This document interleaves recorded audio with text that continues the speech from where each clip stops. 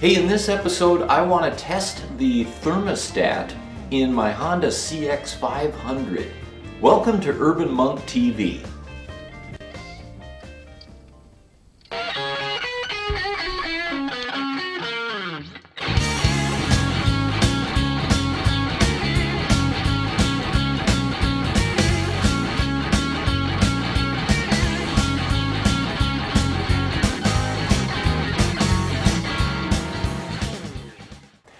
Okay, so in the last episode, we got the rear cover put back on the engine with the new stator inside and the new mechanical seal on the camshaft uh, water pump assembly. And so, but the engine is still out of the bike. But while the engine is out, I've got easy access to the thermostat and I may as well uh, either replace it or just test it and make sure it's good. Uh, if, of course, if it works, there's no point in replacing it. So let's find out if it works. So the thermostat on the CX500 resides you know, right here underneath this uh, cap. And when the engine is mounted in the bike, that is all tucked up under here and things get kind of tight in here. So it's a lot easier to get at now. There are three 10 millimeter bolts on top of here. So one, two, three bolts there. And then for this shroud, you've got one here and another one there. And then we'll get those off. I wanted to share um, something, eh, not in the video, but down in the uh, description below, I'm going to put a couple of links to some other YouTube videos um, the first one came from a viewer and I'll call him a new friend.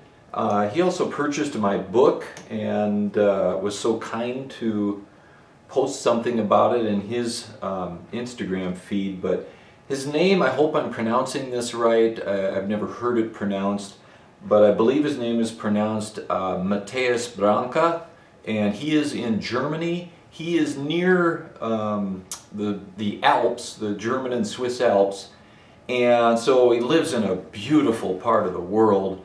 Uh, from what I can tell, I, I, he seems to be a craftsman and uh, has done this just gorgeous work with bottling his own schnapps. I think they're schnapps. My apologies, uh, Mateus, if I have that wrong, but he sent me this link to a um, video about a steam train engine, but particularly it's uh, this snow removal, all steam powered um, snow blower essentially that goes in front of a steam engine. And so you got a steam powered snow blower being pushed by a steam engine through the Furka Pass in the Alps, and uh, his grandfather was an engineer on that railway. And, you know, obviously I like internal combustion engines and mechanics, but as a young boy growing up in Fargo and uh, Fargo Moorhead, kind of two towns there, my father used to take me to something called the, at that time it was called the Rollag uh, Steam Threshers reunion. Now I think it's like the Western Steam Engine reunion or something. I don't know what they call it, but it's a whole bunch of steam powered tractors, trains, uh, steam shovels, old steam technology. And uh, every year in, in the fall, these guys get together, guys and gals, get together and fire up these old machines and just give you an appreciation for how much work it was to accomplish some of these things that we do today with well other power sources that take a lot less time and maintenance. But there's just a beauty in all of it. So anyways if you're interested um, I've got a, a, the links below in the description to both that snow removal steam engine thing, and uh, and then the Steam Threshers reunion in Rollag. So now with that shroud pulled back and these three screws removed on the top of the thermostat housing, I see that we have another screw there and or bolt I should say and another one down. Where are you? Yeah, right underneath that hose there are wires so got to get those off and then we should be able to get inside of that housing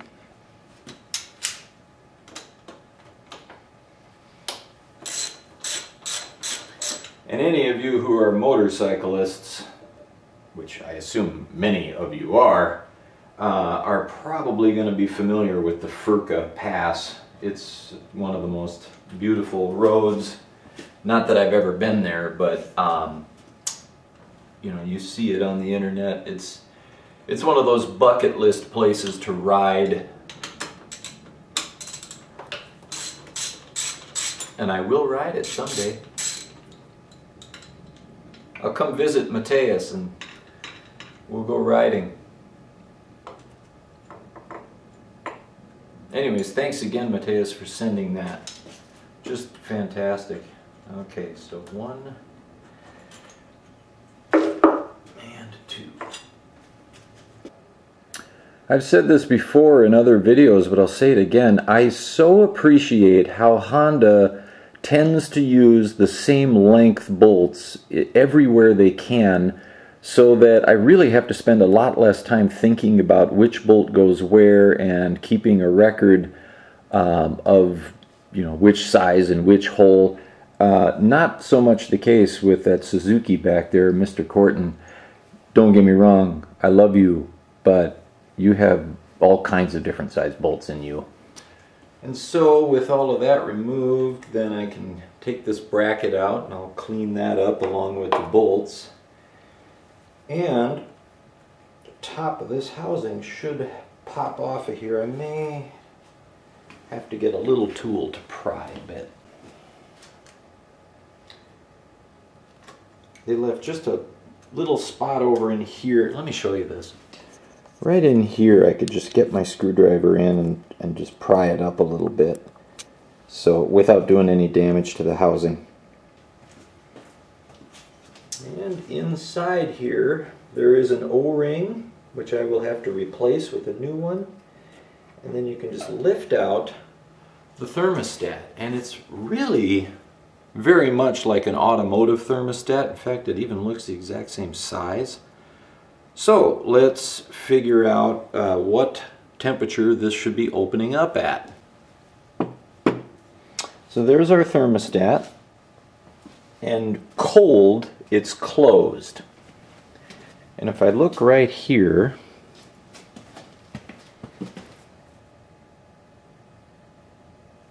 I can see 82 degrees Celsius. That's about 179 point something degrees Fahrenheit, so call it 180. That means this thermostat will open up at 180 degrees. Well, let's see if it does.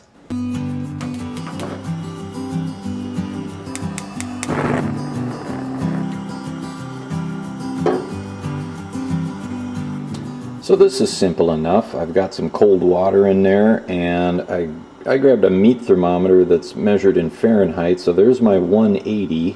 When this needle comes up around, this is the indicator side, that's the back side, so it'll have to come more than 180 degrees. Um, but when I reach 180, I should see that thermostat start to open up.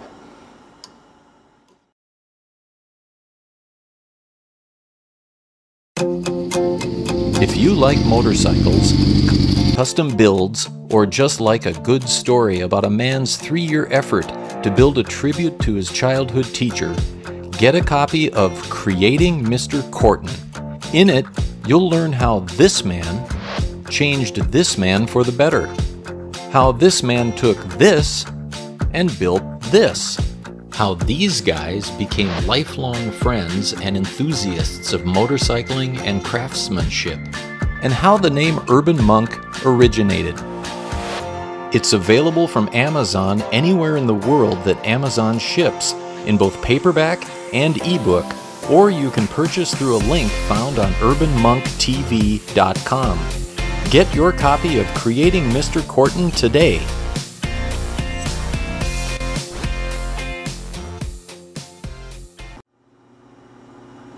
Getting there.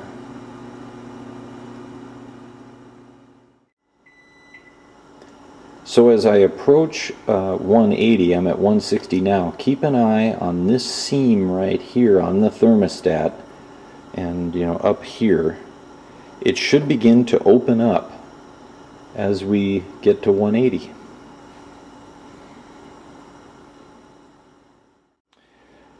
So in the engine, you can imagine you started your engine cold and now it's running and you want the coolant to come up to a certain temperature but not get to a point where it's boiling so but again you don't want to run with too cold an engine. That's the purpose of the thermostat is it just kind of regulates not even kind of it does regulate the coolant temperature.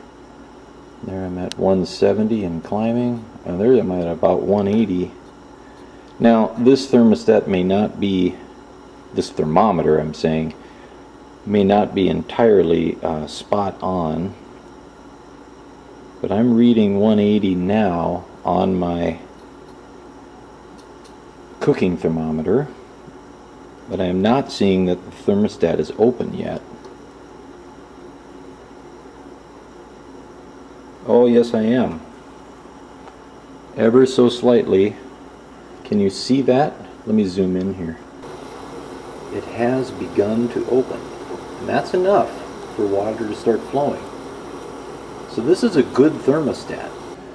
So now coolant would be flowing in your engine, going through the radiator and cooling it. That's what's not happening here. I'm just continuing to put heat to the water and of course that means it's just going to boil the water. But uh, in your engine it would be cooling now and it should stay around that 180 degree mark. It might hover up and down a little bit but that's essentially how this works.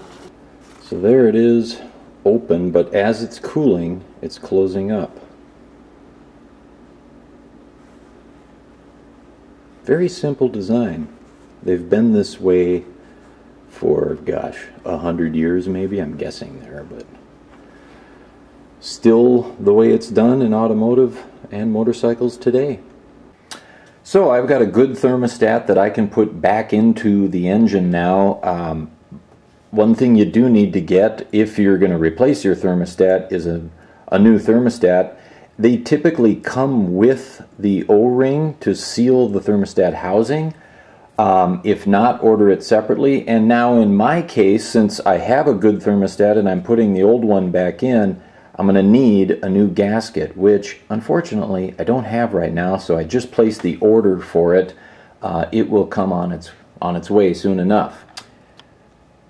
These seven bolts are all it takes to get at the thermostat, and so these long ones go into um, here and the other side of this bracket to mount it. Be sure to get this grounding or this hold down strap. It's not a ground, excuse me. It, uh, but it just holds this wire in place. So get that in there. So two of those long bolts go there. The other two hold this side of the shroud here and here. These guys, one and two. Then you have the two, I'll call them the medium length. I got to clean these up before I put them back in, but essentially they are the ones that hold the thermostat housing down, but this bracket is in place first. There and there. And then the one short one just goes here into the bracket and all it does is hold the shroud here. Oop, dropped it. I'll find it. And that's it.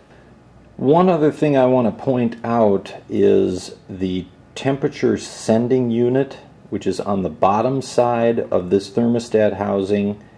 That can be removed and tested also in a similar manner to the thermostat. A couple of thoughts. Torquing those bolts the torque specification is not something that is given in the service manual for the thermostat housing or any of the bolts holding the bracket or that, uh, they call it an air dam, that shroud that mounts to that bracket.